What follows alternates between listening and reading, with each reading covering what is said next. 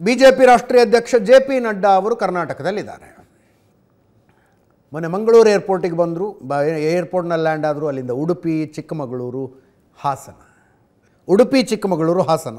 ನಿನ್ನೆ ಶೃಂಗೇರಿ ಮಠದಲ್ಲಿ ವಾಸ್ತವ್ಯ ಇತ್ತವರದು ಬೆಳಗ್ಗೆ ಶೃಂಗೇರಿ ಶಾರದಾಂಬೆ ಸುಪ್ರಭಾತ ಪೂಜೆಯಲ್ಲಿ ಪಾಲ್ಗೊಂಡರು. ಅದಾದ ಮೇಲೆ ಶೃಂಗೇರಿಯಿಂದ ಚಿಕ್ಕಮಗಳೂರಿಗೆ ಬಂದರು. ಬಸವನಹಳ್ಳಿ ಮೇನ್ ರೋಡ್ನಲ್ಲಿ ಸಿ ಟಿ ರವಿ ಮನೆ ಇದೆ. ಅಲ್ಲಿಗೆ ಬಂದರು. ಅಲ್ಲಿ ಚಿಕ್ಕಮಗಳೂರಿನ ಮೂರು ಜನ ಲಿಂಗಾಯತ ಸ್ವಾಮೀಜಿಗಳಿಂದ ಆಶೀರ್ವಚನದ ಕಾರ್ಯಕ್ರಮ ಇತ್ತು. ಅಲ್ಲೇ ತಿಂಡಿ ತಿನ್ಕೊಂಡ್ರು. ಅದಾದ ಮೇಲೆ ಸಿ ಟಿ ರವಿ ಅವರ ಮನೆಯಿಂದ ಒಂದು kilometre bike rally. Bike rally ಮೂಲಕ ಕುವೆಂಪು ಕಲಾಮಂದಿರಕ್ಕೆ ಬಂದರು. ಪ್ರಬುದ್ಧರು ವೃತ್ತಿಪರರು ಮತ್ತು ಚಿಂತಕರ ಜೊತೆಗೆ ಸಭೆ ಮಾಡಿದ್ರು. ಅಲ್ಲಿಂದ ಹಾಸನ. ಬೇಲೂರಿನಲ್ಲಿ ಬಿ ಜೆ ಪಿ ಕಾರ್ಯಕರ್ತರ ಸಮಾವೇಶ. ಜೆ ಡಿ ಎಸ್ ಶಾಸಕರಿದ್ದಾರಲ್ಲಿ ಲಿಂಗೇಶ್. ಅವರ ಕ್ಷೇತ್ರದಲ್ಲಿ ಬಿ ಜೆ ಪಿ ಕಾರ್ಯಕರ್ತರ ಸಮಾವೇಶ ಆ ಸಮಾವೇಶದಲ್ಲಿ ಮುಖ್ಯಮಂತ್ರಿಗಳಿದ್ದರು ಸಿ ಟಿ ರವಿ ಗೋಪಾಲಯ್ಯ ಪ್ರೀತಮ್ ಗೌಡ ಇದ್ದರು ಆ ನಂತರ ಬೇಲೂರಿನ ಇವರ ಕಾರ್ಯಕರ್ತ ರಾಜು ಅನ್ನೋರ ಮನೆಯಲ್ಲಿ ಊಟದ ವ್ಯವಸ್ಥೆ ಆಗಿತ್ತು ಚನ್ನಕೇಶವ ದೇವಸ್ಥಾನಕ್ಕೆ ಭೇಟಿ ಕೊಟ್ಟರು ಸಾಯಂಕಾಲ ಹಾಸನದಲ್ಲಿ ಬೂತ್ ಕಮಿಟಿಗಳ ಜೊತೆ ಸಭೆ ಮಾಡ್ತಿದ್ದಾರೆ ಈ ಕಾರ್ಯಕ್ರಮದ ವೇದಿಕೆಯ ಮೇಲೆ ಜೆ ಪಿ ನಡ್ಡಾ ಅವರೇನು ಮಾತಾಡಿದ್ರು ಮುಖ್ಯಮಂತ್ರಿಗಳೇನು ಮಾತಾಡಿದ್ರು ನೋಡಿ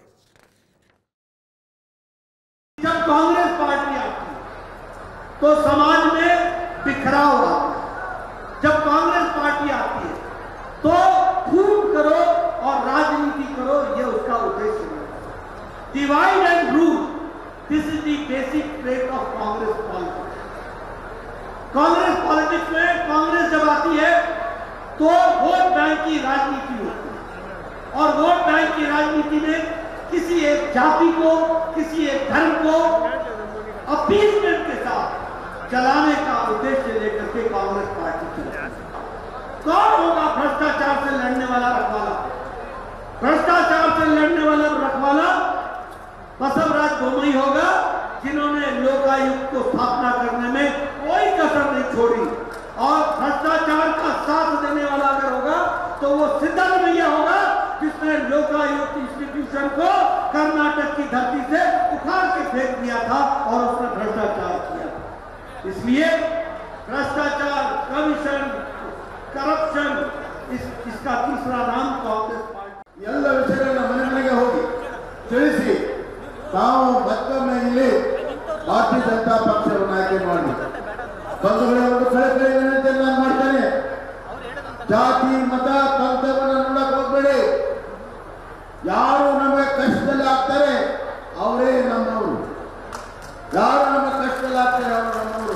ಕಾಂಗ್ರೆಸ್ನವರ ಬುಟ್ಟಾಟಿಕೆ ಮಾತು ಸುಳ್ಳು ಹೇಳುವಂತ ಒಂದು ಚಾಳಿ ಸುಳ್ಳಿನ ಸುಳಿಯಲ್ಲಿ ಸಿಕ್ಕಾಕೊಂಡಿದ್ದಾರೆ.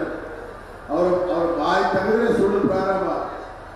ಜಾತಿ ಜಾತಿಯನ್ನು ಒಡೆಯುವಂತ, ಧರ್ಮವನ್ನು ಒಡೆಯುವಂತ, ಸಮಾಜವನ್ನು ಒಡೆಯುವಂತ ಕೆಲಸವನ್ನು ಮಾಡಿದ್ದಾರೆ. ಎಲ್ಲಿ ನೋಡಿದಲ್ಲಿ ಭ್ರಷ್ಟಾಚಾರ? ಭ್ರಷ್ಟ ಕಾಂಗ್ರೆಸ್ ಅನ್ನ ಶಾಶ್ವತವಾಗಿ ಮನೆಗೆ ಕಳಿಸಬೇಕು ಅನ್ನುವಂಥ ಮಾತನ್ನು ನಾನು ಹೇಳಿ ಇಷ್ಟಪಡ್ತೇನೆ. ಅದೇ ರೀತಿ ಈ ಒಂದು ಹಾಸನ ಬಹಳ ವರ್ಷದಿಂದ ಒಂದೇ ಪಕ್ಷದ ಹಿಡಿತದಲ್ಲಿದೆ ಆದರೆ ಯಾವುದೋ ಅಭಿವೃದ್ಧಿ ಕೆಲಸಗಳು ಇವತ್ತು ಆಗ್ತಾ ಇಲ್ಲ. ನೀರಾವರಿ ಯೋಜನೆಗಳು ಕುಂಠಿತಾಗ್ತಾ ಇದ್ದಾವೆ. ಇವೆಲ್ಲ ಇನ್ನು ನಾಡಿದ್ದು ಅಮಿತ್ ಶಾ ಅವರು ಬರ್ತಾರೆ. ಸಂಡೂರ್ನಲ್ಲೊಂದು ಕಾರ್ಯಕ್ರಮ. ಅಲ್ಲೊಂದು ಬಿ ಜೆ ಪಿ ಸಮಾವೇಶ ಆಗತ್ತೆ. ರಾಮುಲು ಅವರು ಬಹುಶಃ ಸಂಡೂರಿನಿಂದ ನಿಂತ್ಕೊಳ್ಳೋದೇ ಫೈನಲ್ ಆದಂಗೆ ಕಾಣಿಸ್ತಾ ಇದೆ.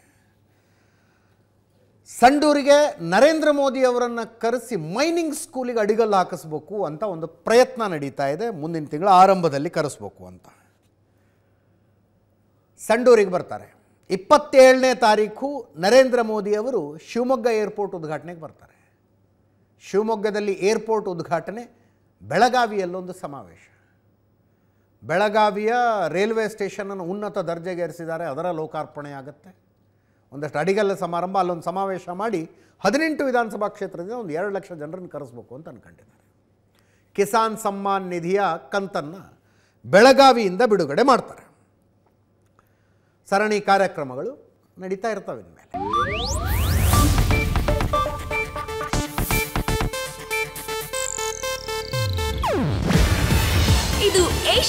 ನ್ಯೂಸ್ ನೆಟ್ವರ್ಕ್ ಪ್ರಸ್ತುತಿ.